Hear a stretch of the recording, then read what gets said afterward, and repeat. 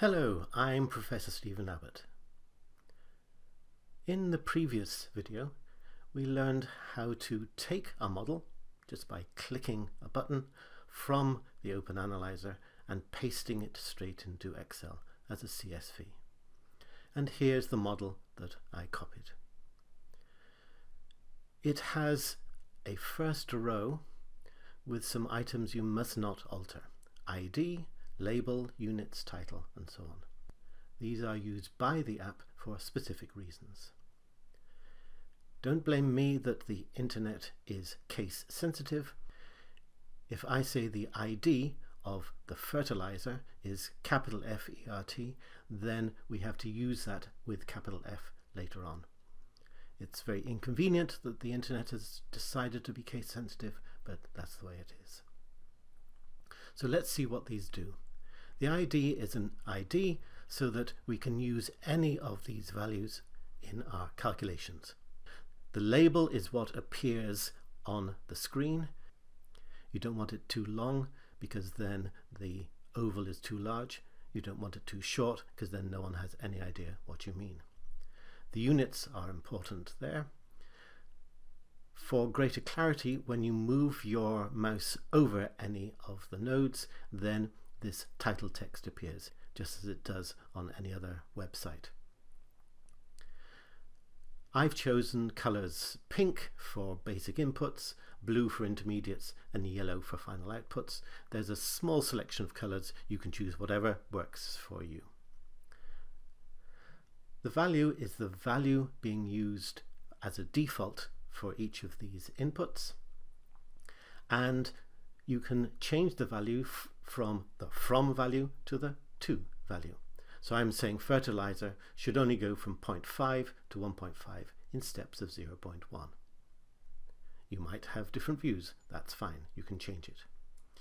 This factor conv is the conversion factor. The fact that it's 1 means that if I go from 0.5 to 1.5 on my slider, then that's the actual value that is used. Now let's look at a calculation.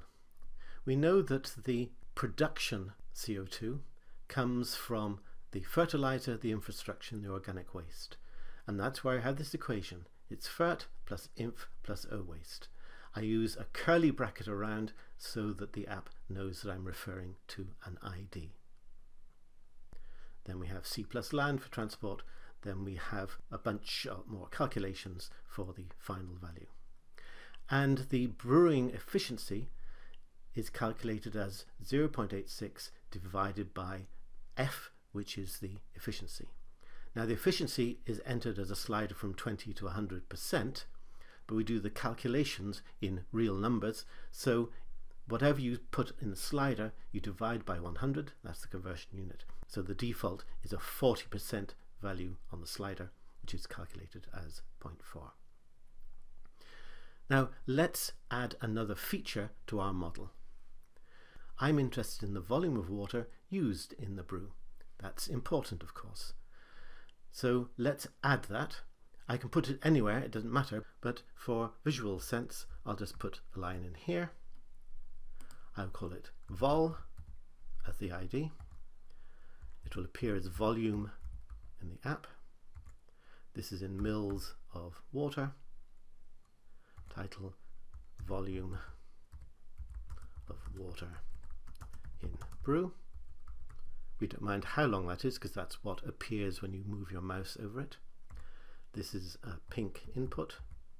The default value is 125 mils. There's no conversion value, so I just make that one. And I want to specify it from 20 mils, a very strong espresso, to 200 mils, a fairly dilute coffee, in steps of one mil. Then I need to include this in the calculation. So instead of it being 0.86 divided by efficiency, we add that it is times vol, so I put the curly brackets around it, divided by 125, which is the default value. So there's the new calculation. Now I need to save this. I'll save it as version I've done before. Yes, replace it. Now we have our new model.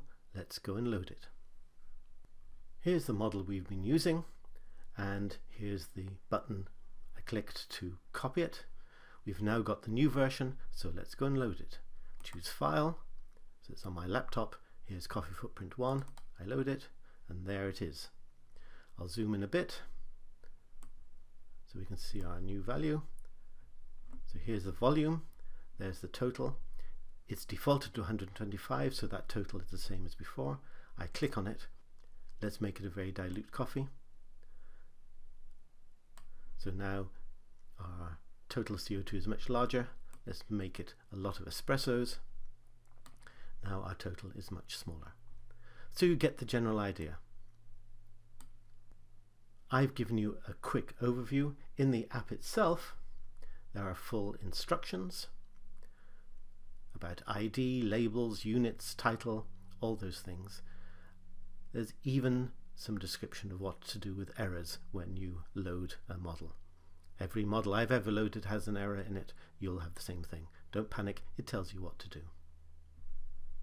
I hope you enjoy using Coffee Footprint Analyzer and as always let us know your feedback. Thank you.